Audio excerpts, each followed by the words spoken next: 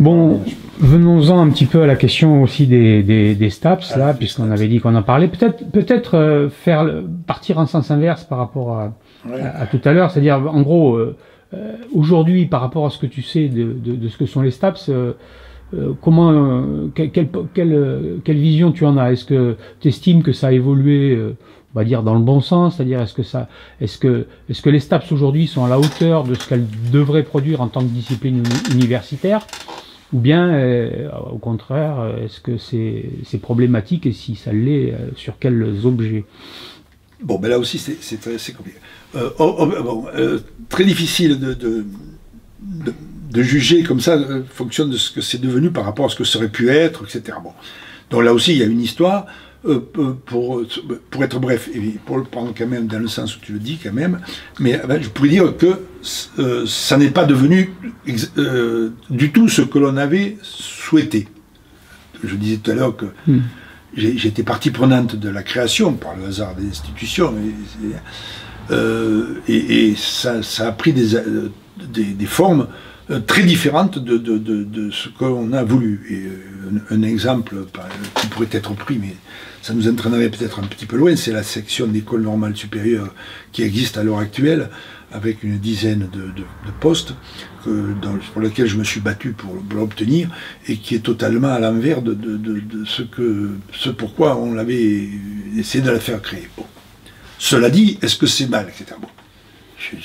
Bon. Hmm. Euh, il faut constater euh, aujourd'hui ce que c'est, euh, et du point de vue fonctionnel, il y a quelque chose qui me rassure, c'est que apparemment c'est une filière qui, est un peu victime de son succès, puisqu'on on en est à, et ça alors là j'en suis furieux évidemment, euh, on en est à sélectionner euh, au, tirage au sort pour l'entrée, donc victime de son succès, mais que ceux qui euh, participent, etc., et en fonction de ce qu'on a, auquel on a participé, je dirais aussi, les filières que l'on a réussi à monter, apparemment euh, sur le plan social, sont plutôt euh, efficaces, puisqu'on dit que ça ne produit pas de chômeurs. Euh, en prenant ce critère-là, en disant que, en tous les cas, les, gens ne trouvent pas forcément exactement ce pourquoi ils ont été formés, mais semble pas, ça ne crée pas une difficulté sociale, apparemment. Et donc, d'où peut-être son succès aussi. Donc, de ce point de vue-là, très, on pourrait dire très matériellement, on peut dire que c'est une filière qui, qui, marche même un peu trop bien euh, au regard des, conséquences sur le, sur, le plan de, ceux qui peuvent y accéder ou pas. Bon. Par contre, donc par rapport à ce que euh, à, l'idée d'origine, on y remontera éventuellement à l'envers, nous justement, on pourrait dire que là aussi c'est une façon un peu provocatrice que j'ai tendance à dire, l'éducation physique, historique, hein, née au siècle dernier, vous pourriez dire, a créé une quantité de choses dont elle a été exclue, progressivement. Elle a, créé des choses dont elle été exclue. Dire que là, bon, pour prendre l'exemple des STAPS, il y a une, une profession, euh, un corps d'enseignants dans les années, disons, après-guerre, à partir des années 45, qui se constitue. Il y a une culture très forte de l'éducation physique et sportive, avec ses, courants, ses méthodes, euh, tout ce qu'on voudra, mais il y a une culture très, très, forte. Et il y a le corps des professeurs de gym. C'est les profs de gym prof du gym, c'est là, et, il y a une identité. Alors une identité qui est ce mais c'est le prof de gym. C'est-à-dire que c'est pas un professeur de sport, hein, c'est le prof de gym. La gymnastique au sein de l'exercice, c'est l'exercice physique, et même si très vite euh, il y a du sport très, dès les années 45, et 59, et puis 67, bien entendu, ça reste le prof de gym. Et il y a une identité forte, et d'ailleurs, on parle toujours, moins à moins, mais jusqu'à une période récente, c'était. Et la plupart des collègues parlent de prof de gym. De plus en plus, on parle de professeur de sport. Et c'est peut-être au moment des STAPS que on va vite, finalement, ça va être la fin de la gym et le passage au, prof de sport. Ben, aujourd'hui. Et le prof de sport, il sort de l'université. Et d'ailleurs, à l'université, il y a les facultés des sciences du sport. Il n'y a pas. Alors que on, a créé le truc UER, Unité d'enseignement et de recherche à l'éducation physique et sportive. Puis, Institut national du sport et de l'éducation physique. Et puis aujourd'hui, Faculté des sciences du sport et Institut national de la performance et de, l'entraînement et de la performance. Hein? Bon. C'est-à-dire que là où il y avait EPS, il n'y a plus EPS. Initialement, on cherche donc de cette culture euh, prof de gym, qui était une culture essentiellement, on dire, euh, empirique, euh, même s'il y avait, bien sûr, il y avait une, formation théorique, mais c'était peu théorisé, c'était pas une, pas une science, c'était une pratique, comme la pratique médicale par rapport à la biologie. Une pratique, qui était fondée sur des savoirs, mais des savoirs externes. Au moment des années donc 70, la grande question c'était est-ce qu'il y a une science du sport, une science de la motricité, une science, quelque chose qui, ne soit plus du domaine de l'empirisme, qui soit la volonté de, de, progresser par la raison pour maîtriser ce, phénomène, que ce soit pas simplement des pratiques, des pratiques empiriques. Et donc, avec la, alors, la, loi, pourquoi on se retrouve à ce problème d'université Alors qu'on était finalement, on sortait de l'atelier et sport, c'est-à-dire on était une sorte de compagnonnage. Intelligent les compagnons, je veux dire, bon, hein, mais les compagnons ne font pas des, mathématiques descriptives, ils ont leur propre ils ont leur propre façon de dessiner et, et, combien compétentes. Mais leur théorie du dessin n'était pas tellement fondée sur les mathématiques euh, contemporaines. Hein. Voilà. Bon, eh nous c'était pareil. Alors on y, euh, et là, on, on va associer une forte pratique, hein, une connaissance, euh, une pratique d'ailleurs qui se traduisait par une forte dimension pédagogique, un savoir-faire pédagogique, on va, on va le faire progresser par une formation plus académique. Mais avec le, problème du moment, c'était est-ce qu'il y a une science propre à ça, quoi, quelque chose qui pourrait devenir une, science universitaire, une discipline universitaire. C'est pour ça que j'ai dit, on a été obligé d'amener le, concept de science et technique, parce que le problème, c'est qu'à ce moment-là, à l'université, il faut savoir que l'université française est centrée sur des universités, des établissements scientifiques et culturels. C'est-à-dire qu'à l'université, on ne fait pas du professionnel. On fait, on développe des connaissances. Si on veut faire la profession, par contre, les professions ont besoin de gens formés à la culture, formés à une connaissance. Et quand ils doivent exploiter ces connaissances de façon technique, euh, euh, précise, ce sont les écoles d'ingénieurs. Ce sont les grandes écoles, sciences, sciences euh, les mines, ce sont les trucs qui utilisent le savoir développé à l'université, mais c'est en dehors de l'université qu'on fait du professionnel. C'est des instituts, c'est des, écoles, mais pas l'université. À partir de, de 89, même non, mais à partir de 69, non, non, non, je crois que c'est 89, je ne me rappelle plus la date, mais c'est très tardivement et c'est, oui, je crois que c'est de l'ordre des années 80, 89, que les, établissements, euh, les universités deviennent établissements scientifiques, culturels et professionnels. Et du même coup, va se retrouver aux universités des écoles d'ingénieurs, des instituts, les, UP, les instituts universitaires de formation des pairs, rattachés à l'université. Mais malgré tout, institut veut dire qu'on fait du professionnel. Mais quand on fait du professionnel, on sélectionne.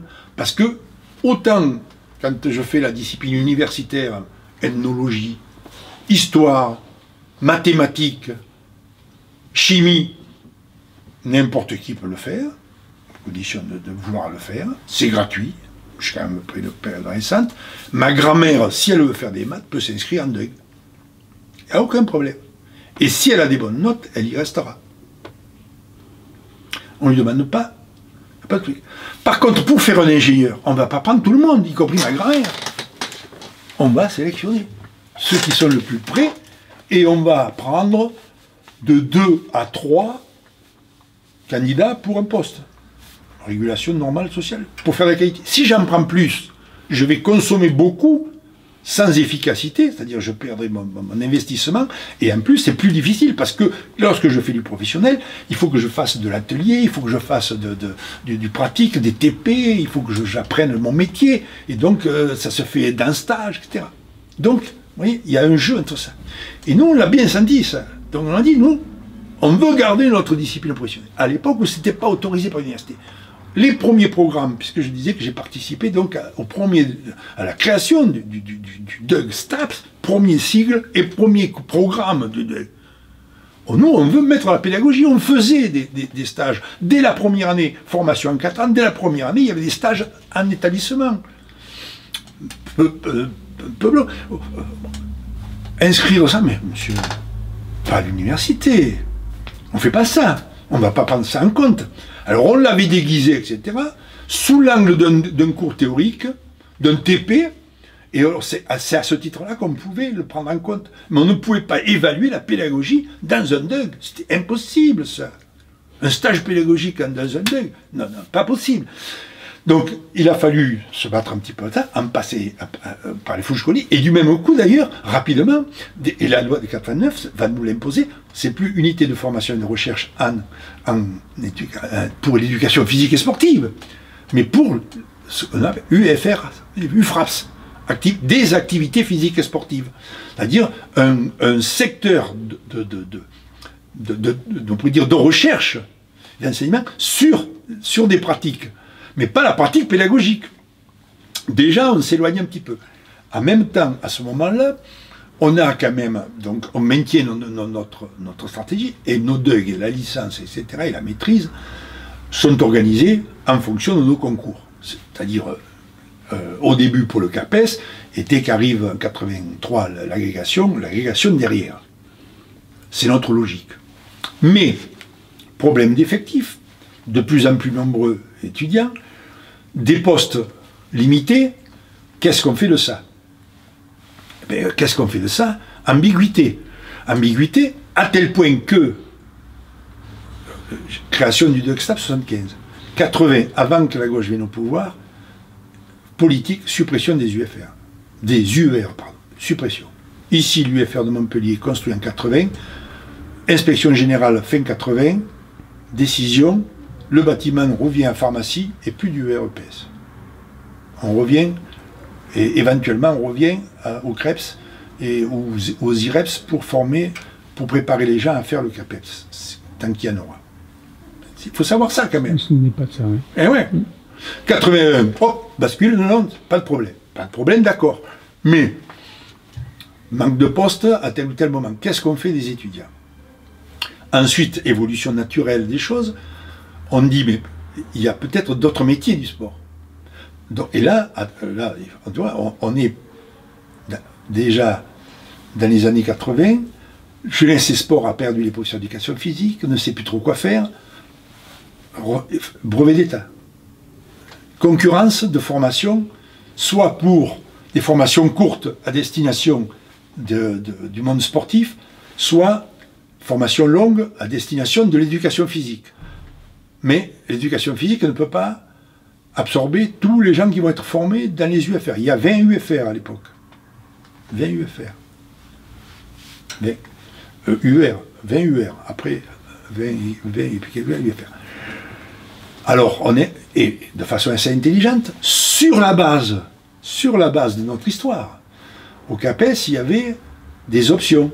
Option réhabilitation, option premier degré, option danse artistique, euh, enfin, il y avait une, option, euh, je ne me rappelle plus quoi, euh, il y avait un truc de ce genre-là. je ne pense pas qu'il y avait l'option entraînement, justement parce qu'on était concurrencé déjà par, par Jeunesse et Sport, après les brevets d'État qui, qui, ont été élaborés en 69. Bon, total, on invente les filières. Et là, je suis chargé de mission à l'époque à l'enseignement supérieur, et on crée ces quatre filières actuelles, réhabilitation, je ne sais plus quel terme ça a pris, etc., mais la réhabilitation, euh, le management du sport, alors là aussi on m'a dit, oh, bah, oh management, qu'est-ce que c'est que euh, éducation physique, bon, management, c'est-à-dire tout ce qui peut être organisation, concurrencé par les brevets d'État aussi, qui peut bon, grand problème là, j'ai eu des très, des, des des grandes difficultés parce qu'il y avait une partie des directeurs de crèves qui étaient d'accord pour venir se rapprocher. Ça sera le, problème de la, de la, commission STAPS des années 90, 99, même 95, je ne me rappelle plus. Bon. 99, je crois que c'est. Mais il y, a ce problème-là. Et alors, on crée une, alors, comme ces filières ont été créées pour faire exister des maîtrises, et on cache la forme, on cache la formation à l'éducation physique dans la filière éducation et motricité. Inventé de toutes pièces par Bibi. Qui n'existait pas ça. Sinon, il n'y a pas de maîtrise. Il fallait passer par une maîtrise spécialisée, parce que toutes les maîtrises à l'époque étaient spécialisées sur un thème. Et comment on faisait le poète? Donc, on déguise la formation par euh, éducation et motricité. Et on dit, alors, parce que ces maîtrises développent un diplôme. Alors, on a à la fois notre tradition de. Euh, le CAPES, ce n'était pas un diplôme. Il, même, il a, à l'époque, il fallait se battre pour avoir une reconnaissance de licence. Ce n'était pas un diplôme, c'était un concours de recrutement. Sur la base d'une formation. Mais là, on, invente un truc où on a à la fois la possibilité de passer un concours et où on a un diplôme, le diplôme maîtrise éducation et motricité, qui ne sert strictement à rien, puisqu'il ne débouche sur rien. Il faut savoir. Ça. Bon, et donc ça, c'est. Bon. Et euh, donc ces filières inventées permettent quand même de viser quelques postes euh, externes à truc. La filière réhabilitation, elle aussi, un problème. Réhabilitation de quoi? Si on va vers la motricité, on est concurrencé par les professions paramédicales et particulier les kinésithérapeutes, que l'éducation physique a inventé 40, 50 ans plus tôt. C'est de la, de, de de, de psychomotricité, comme la psychomotricité, la, kinésithérapie est sortie de la culture euh, euh, éducation physique et sportive euh, des, années 45 quand même, il faut le savoir. Les professeurs d'éducation physique avaient, le, l'équivalent de la première année de, kinésithérapie dans les années 60. Et beaucoup de mes collègues, pour, pour, des raisons personnelles, ont souvent passé le diplôme de kiné. Bon c'est dans ce sens où je dis qu'on a créé beaucoup de choses dont on a été exclu. Comme les psychomotriciens ne savent pas d'où ils viennent. Hmm. Ça vient de toute la culture, éducation physique et sportive, euh, méthode, méthode. Euh, bon. là aussi, il faudrait revenir sur, l'histoire très précise. Je, m'éloigne un peu trop, mais pour revenir à ça, donc, ces filières euh, fonctionnent finissent par trouver des, débouchés avec difficulté, en concurrence contre la jeunesse sport, etc. Donc il y a une sorte de, difficulté là. Du même coup, donc euh, malgré tout, on crée ça. J'arrive à faire créer le premier DEA, le premier DEA de recherche ici, et je suis chargé de mission euh, pour euh, ce secteur ainsi que les, SUAPS, c'est-à-dire tout ce qui est sport à l'université. Et j'arrive à, créer, à faire créer des postes de maître de conférence et de prof. Là aussi, débat compliqué. Dans cette période fragile, où justement là, on est, on est, on est devenu UR. Bon. Les UR ont, créé ces diplômes. Hein. Je, reprends un petit peu pour bien montrer le truc.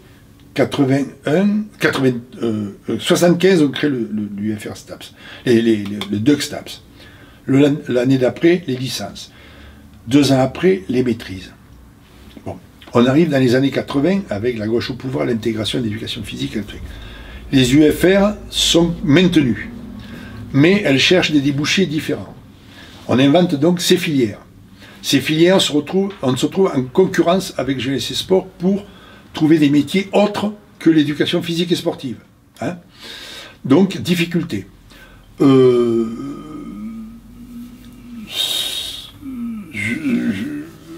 à ce moment-là aussi, donc je, suis chargé d'émission et j'essaie de faire vivre ces trucs. Et pour aller vers les, alors oui, voilà, c'est ça le problème. Donc on arrive en 89. 89, nouveau texte de loi d'orientation, pas de sélection à l'entrée à l'université. Or, nous, nous étions dérogatifs jusque-là, Et on, continuait à sélectionner sous le biais du contrôle d'aptitude physique. Ce qui fait qu'on ne prenait pas tout le monde. Et du fait même, nous, de notre tradition professionnelle, on souhaitait qu'un professeur d'éducation physique ait, quand même fait du sport avant de, venir faire, faire ses études. Et du même coup, on sélectionnait par une sorte d'aptitude, par l'aptitude physique, euh, par ces espèces de contrôle. 89, interdit. Que fait-on? Euh, bon.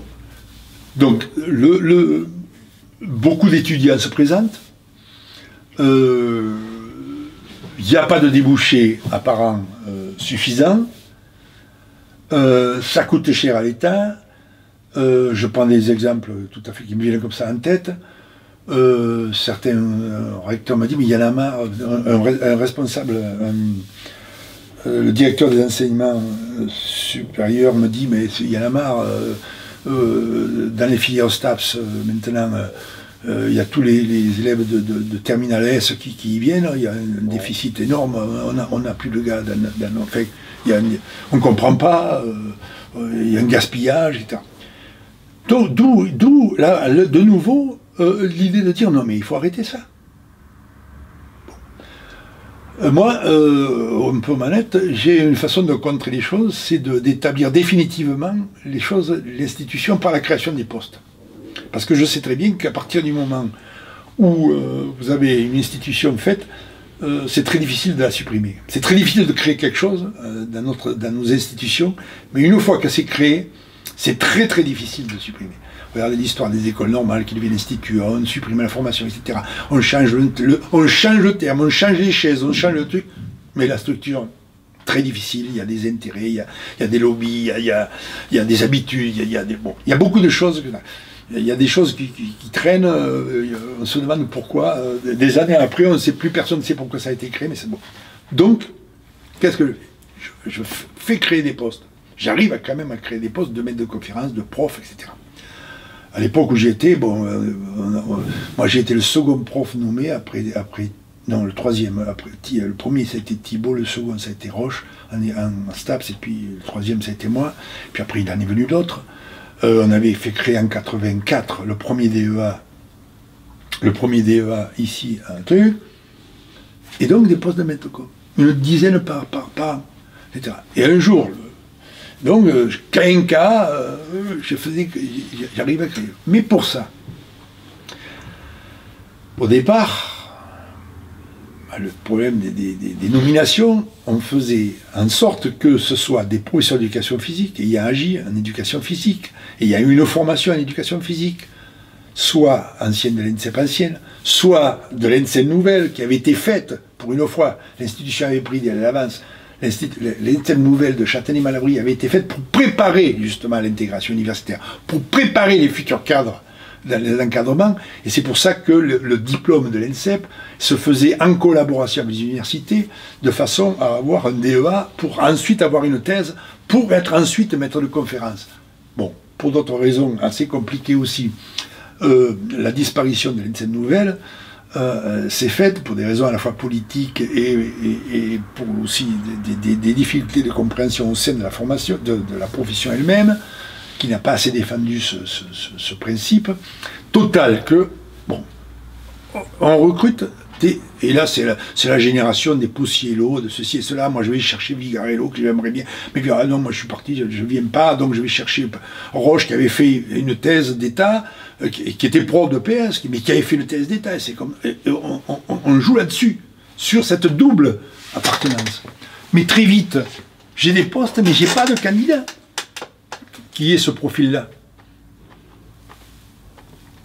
Alors, on ouvre on, a abandonné l'idée d'une science euh, spécifique et on retombe dans la logique les sciences qui éclairent euh, physiologie, euh, sociologie, histoire.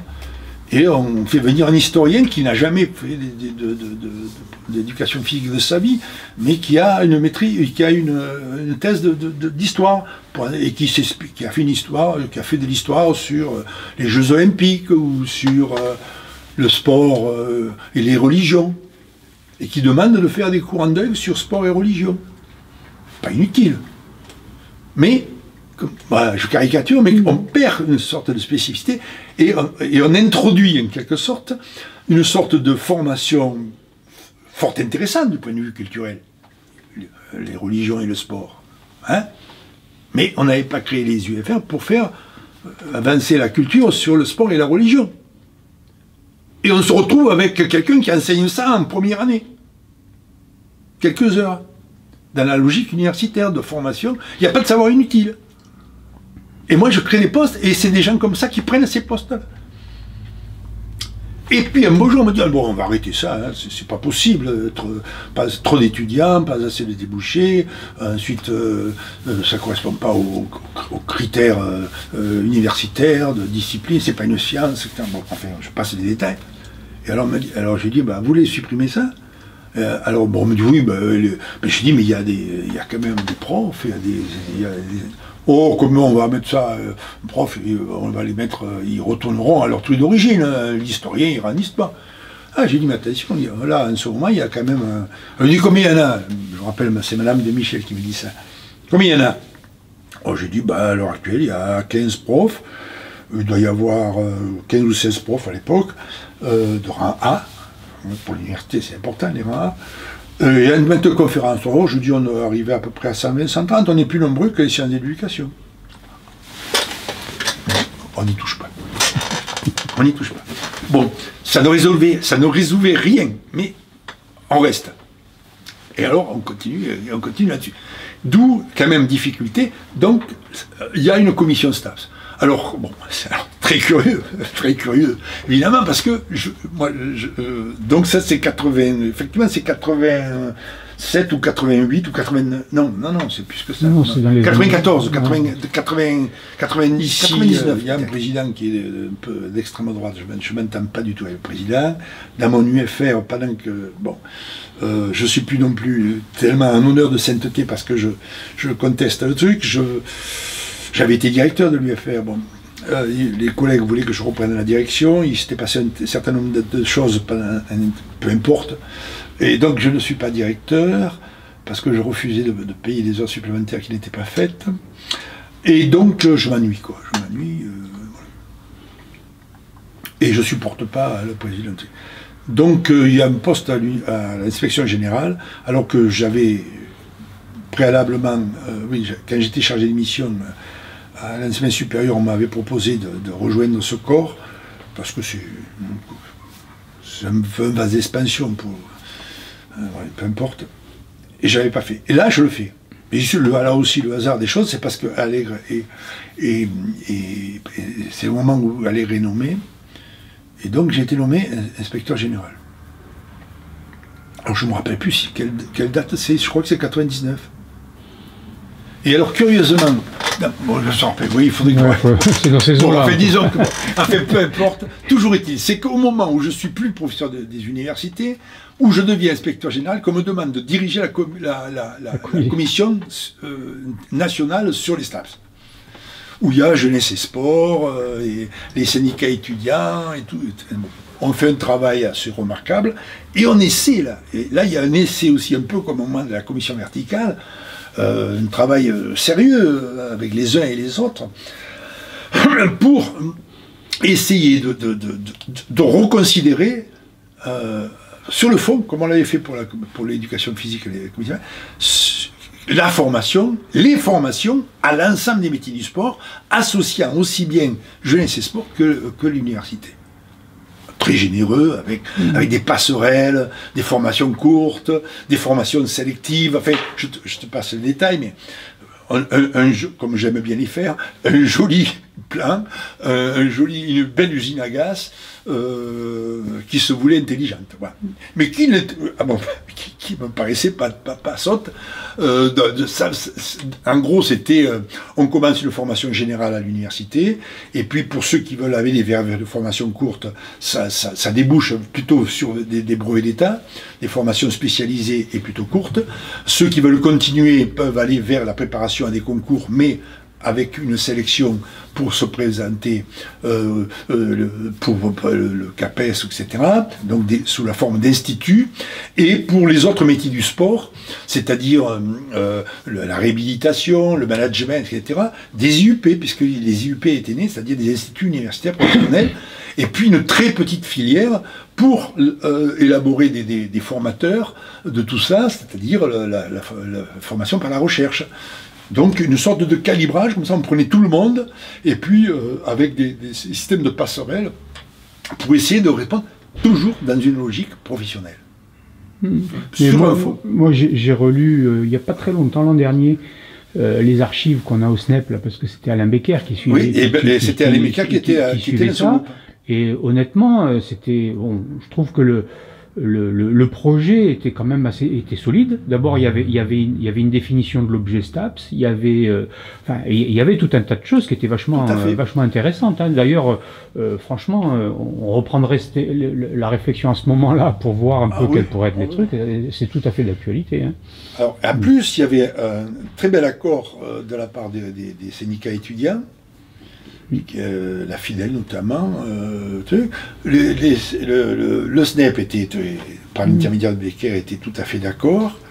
Euh, les représentants de, la, conférence des directeurs du FR-STAP, je ne me rappelle plus qui était président à ce moment-là, je ne sais pas si c'était pas Camille, étaient tout à fait d'accord. Hmm. Mais, mais, il y avait quelques difficultés. Deux difficultés. D'une part, euh, jeunesse et sport euh, était restée très distante. Euh, c'est là où j'en avais eu que l'accord d'un certain groupe, plutôt socialiste d'ailleurs, parce qu'il y a d'ailleurs des hommes politiques aussi qui se mêlaient à ça, de la part des directeurs de, Krebs, mais il y en avait qui étaient fondamentalement opposés, parce qu'ils y voyaient une sorte de phagocytage, et ils ne voulaient pas manger ce pain-là. Toujours la crainte aussi des théoriciennes de l'université. Et puis, et puis, bon, là, je ne veux pas dire des choses que, je ne maîtriserai pas, mais dans mon souvenir, c'est ça.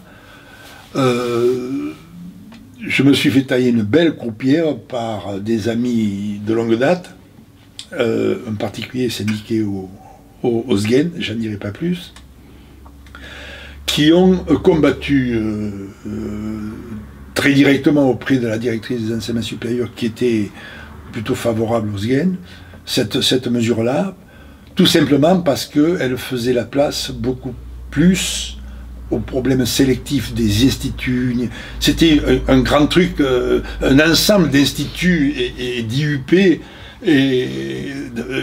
la, dimension professionnelle avec sélection qui, euh, qui, qui, apparaissait, même si c'était une filière mmh. universitaire qui pouvait déboucher sur, sur des, thèses, des, thèses euh, il n'en reste pas moins que ça, avait une, dimension très école euh, professionnalisante. Et là-dessus, ils ont obtenu le fait de dire c'est pas universitaire, c'est malthusianisme, euh, c'était pas assez culture générale, c'était surtout pas assez science, c'était pas surtout, c'était pas assez recherche, laboratoire, etc.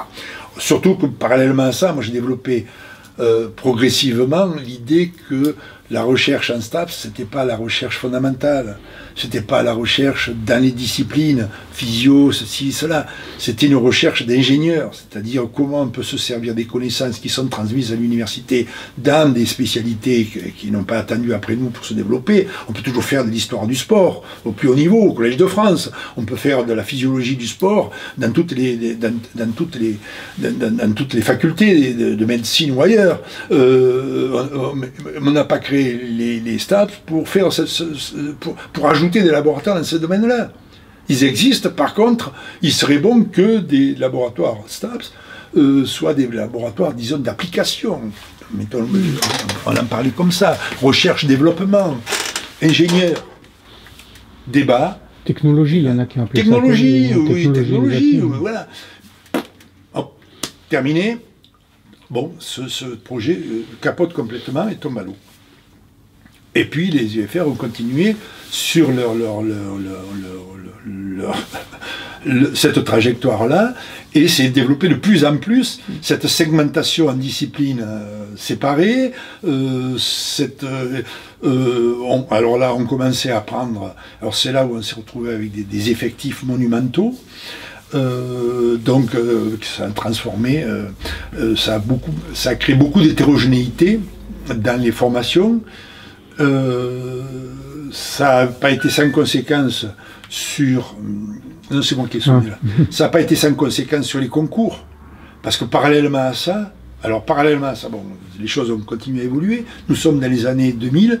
Moi, je suis président du, CAPES, président d'allégation, et je vois des étudiants STAPS arriver sans formation physique. Parce que les, effectifs étant, etc., euh, moi je suis passé pour dire, bref, pour résumer d'un seul coup, moi étudiant euh, euh, au CREPS, puis à l'ENSEP, euh, 4 ans de formation en gymnastique, moi qui suis athlète, 4 ans de formation en gymnastique, au point de pouvoir quand même faire un équilibre parallèle, une sortie équilibre à la barre fixe, etc. euh, moi, athlète, euh, capable de faire un, 50, un 100 mètres nage libre, etc. De, moi, bon, bon euh, voilà, non mm. pas pour, dans le but de démontrer, c'était pas du tout mon propos, mais, mais ayant éprouvé moi-même les apprentissages, m'étant imposé des apprentissages de l'ordre de 10 heures par semaine pendant 4 ans. 10, 10 séances par semaine pendant 4 ans.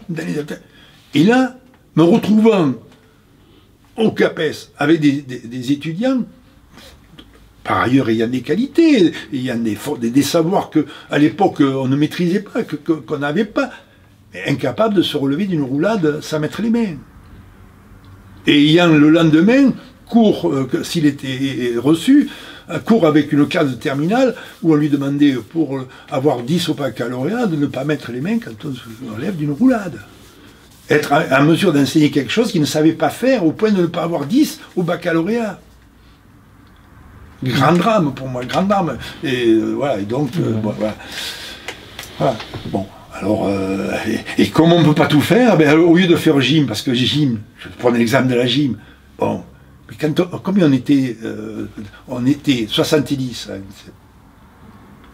et il y avait chaque, chaque semaine 10, 10 cours, ou, ou 7 ou 8 cours de 12, chaque semaine donc 12 heures de gymnase avec un prof et avec 12 étudiants. L'UFR STAPS, 700 étudiants. comment vous savez que je trouve euh, pour faire faire 12 heures de, gymnastique? Sur quel gymnase? Et combien de groupes? Combien de groupes, monsieur? Alors, ben, on fait ultimate, euh, natation, euh, bon, très bien, équitation, ceci et cela, pour qu'il y ait un minimum de pratiques, mais tout le monde ne fait pas les mêmes pratiques. Et on se présente au CAPES et on va avoir cours avec, avec un programme qui dit qu'il faut faire de 12 séances. De, donc c'est pour ça que là aussi, euh, euh, ça paraît être. Euh, j'ai l'impression d'insister sur, sur, sur, sur, évidemment le désordre, mais c'est pour dire en quoi les choses ont évolué, pas dans le sens que l'on souhaitait, qui était peut-être critiquable. peut-être c'était pas ça l'évolution nécessaire. Mais en tous les cas, moi je l'ai vécu comme ça. C'est-à-dire mm. que je l'ai vécu comme une dérive progressive que je n'ai pas su, euh, personnellement et avec d'autres, euh, mieux maîtriser. Euh, peut-être qu'on avait tort aussi, ou qu'on n'a pas su le faire. mais et puis, malgré tout, donc j'étais quand même inquiet de, de voir ces choses-là. Et puis, euh, ces derniers temps, euh, que ce soit De Linière, qui est à l'heure actuelle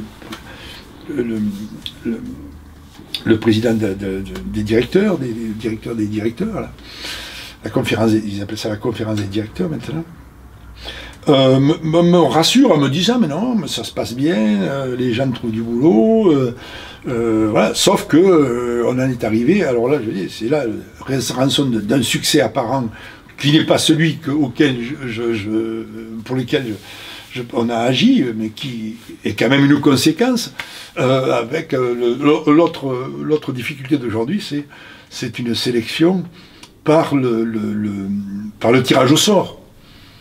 Alors, tu voyez, ben, on revient à mon problème. Ce problème un peu permanent lié à la professionnalisation, disons à une sélection, à, la, euh, une formation ou à un écrémage progressif des âmes par, la, par des, dimensions concrètes telles que, telles que la pratique elle-même, euh, ben voilà, euh, est-ce qu'il valait, est mieux organiser une sélection à partir de compétences acquises antérieurement, à, passer, à partir d'un passé sportif, à partir de, de, voire même de, de, connaissances acquises antérieurement, que, que, de, passer à une sélection par, par, le, hmm. par le tirage au sort. Bien sûr que non. Enfin, bien sûr que non. Alors on me dit que c'est momentané, que c'est. Mais moi, je, ça, par contre, alors là, je ne comprends pas qu'on que, le laisse faire. C'est un des. Ça, euh, non, il faut. Alors, en plus, euh, là, euh, bon, mais là, je, parle comme un, comme un retraité. Mais à un moment donné, alors qu'on était encore dans la, situation dérogatoire, où on, nous autorisait finalement à, entre guillemets, à, réguler nos flux, c'est-à-dire à sélectionner, on le faisait sur un dossier. Pourquoi on ne le fait pas sur dossier aujourd'hui? Plutôt que de tirer au sort. C'était pas difficile c'était pas forcément très idéal, mais on demandait un dossier, c'est-à-dire que le gars, un dossier, alors après il fallait vite sur les 1000 dossiers à, taper, c'était pas simple, hein, et je l'ai fait. Euh, où on demandait le passé sportif, on donnait des points en fonction du passé sportif, le, baccalauréat, les mentions au baccalauréat euh, étaient totalisées. Et on faisait un profil et on, prenait les gens qui nous paraissaient être les plus à même, les plus préparés à, euh, euh, à, venir faire ces, formations. Pourquoi ne pas le faire aujourd'hui plutôt que le tir au sort? Ça, alors là, je ne comprends pas. Là, là je ne je, comprends pas. Mais, on, va, on va arrêter là, je crois. Voilà. Parce que